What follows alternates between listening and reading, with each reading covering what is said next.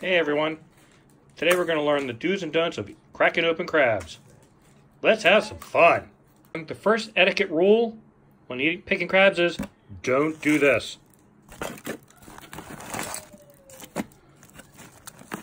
Oh, here's a heavy one. I'll take this one. Don't do that. Just pick the first one you grab and eat it. Simple as that. The one thing uh, us people that eat crabs a lot like to do is give people mallets. Uh, it's hilarious. We love, here, here's some mallets. And people start hammering away at their, their crabs. That's not what you do. We, it's just for our entertainment. Uh, only thing you need is a knife. And it doesn't even need to be sharp, just a knife. We'll show you how to use it in a few minutes. After we've taken our crab, first thing we're going to do is scrape off the either Old Bay or J.O.'s spice, tear open the apron, take off the main shell. Another thing you want to do, is this stuff here, it's called the lungs. Don't eat that. Bad news, man. Tear all that off. Don't need this. okay, now you got the center part. You got the mustard here, and inside are the intestines. Uh, a lot of people don't eat that. I do. Quality. Next thing you're going to do is crack your crab in half. Starting here, pull off legs at the knuckle.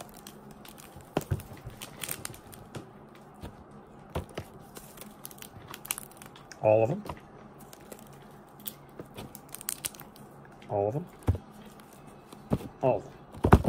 Now that you have just the body, no knuckles, squeeze the center, and then open up like a clam. Expose all the meat.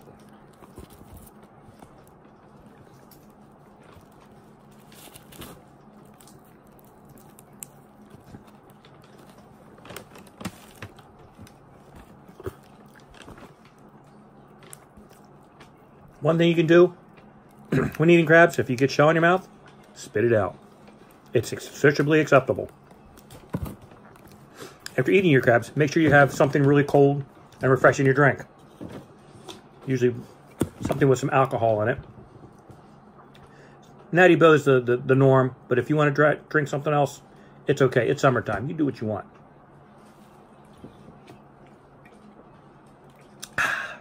All right, well, I'm going to go back to picking crabs. We'll talk in a bit. All right, folks.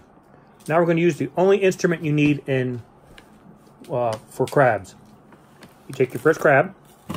Oh, I can't get underneath. I can't get underneath the shell, the apron to, to pull it up. Grab your knife. Shove it underneath. Ooh, paper shell. Pull it up. Oh man, this thing was about ready to slough. Look at that. Oh, that was so close. Yeah, it could have been a soft crab probably another couple days. All right. This is the only thing you need your knife for. You take it. Gonna put it right about here. Lightly tap it with the other hand.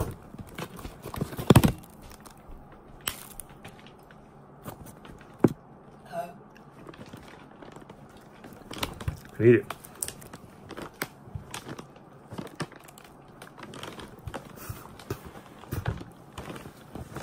You can also use this to pick, pick that out of there. Now for the second half. Do the same thing. There. Okay, it didn't come out. No big deal. You squeeze this. Cracks it right open.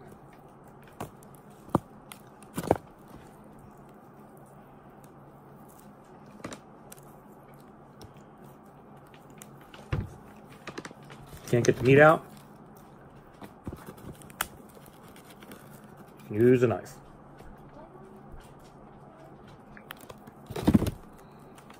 Right. That's what you need a knife for. If you want to try to attempt to uh, get the meat out of the claw without a knife, what you can do is break that off. Oh, it didn't slide out. All right, well, if you got enough strength, you can squeeze it, break it.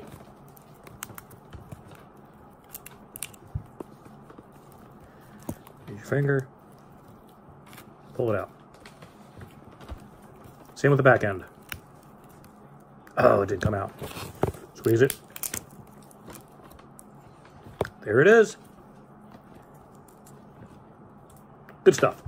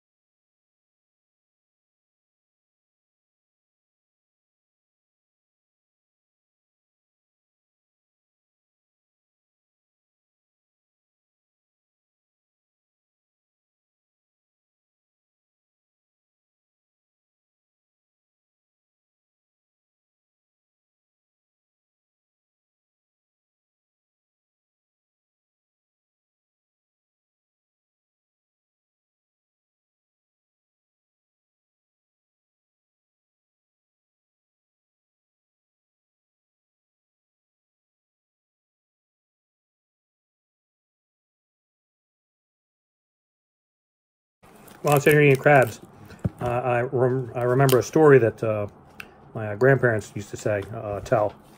Um, my grandfather used to be a crabber.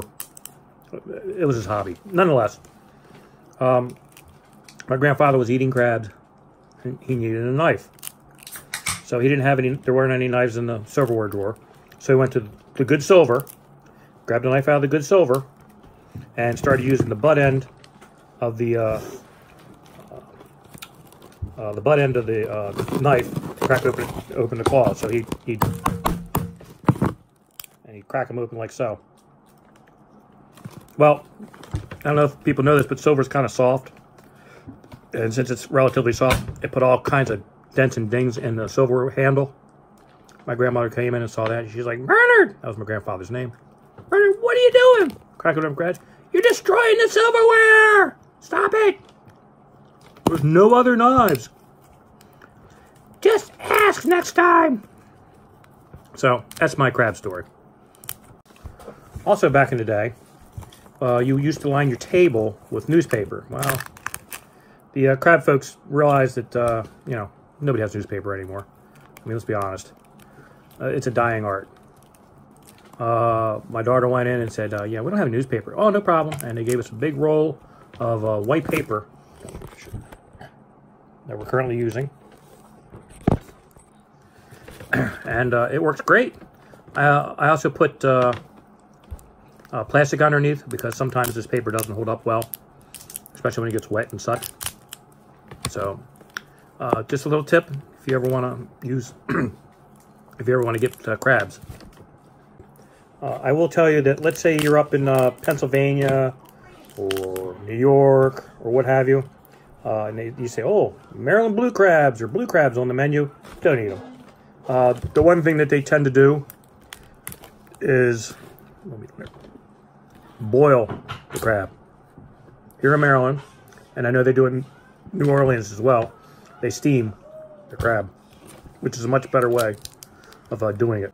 So what I'm doing now is making crabs for my wife, and then when she comes home, she can either eat it as such, or she can make a crab cake. Uh, I'm sure Lauren's going to be helping me shortly soon, because uh, you get full. Don't worry These are good. I've had probably, I don't know, close to a dozen, ten, I don't know. Uh, these are good. All right, I'm going to show you how to take out the meat from these itty bitty little legs, okay? So you want to pinch it at the knuckle here. It may not be successful on all of them, but you pinch and pull. Yeah, see, that ain't successful. See, that ain't successful. This is actually a rare talent. Not very many people can do this. See, I got bits of it out. But I've but before I started filming, I got like four out of the four that I did. See, there's a bunch here.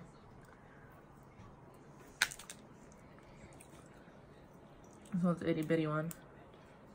See, more there. And normally we don't go for this, but But I do because I spent a shit ton of money on these crabs and I'm going to get my money's worth. that's my foul mouth daughter. she also uses butter as well. That's usually not a thing, It is a thing because it's delicious. but Lauren oh, I- I insists that it is. if the crab place sells it, it's a thing. There we go. All right, Ready, ready, ready. See, I'm pulling it out. See? There it is. Perfect on my last one. And it's good. It's a little more tough. But it's good. That's it. All right, we're finishing up what's left of the crabs. We got a nice- Yeah. We got a nice bowl of crab meat. We'll make uh, crab cakes or soup or whatever. We're going to leave. We actually are going to make soup probably tomorrow. Uh, we've got about half dozen in there.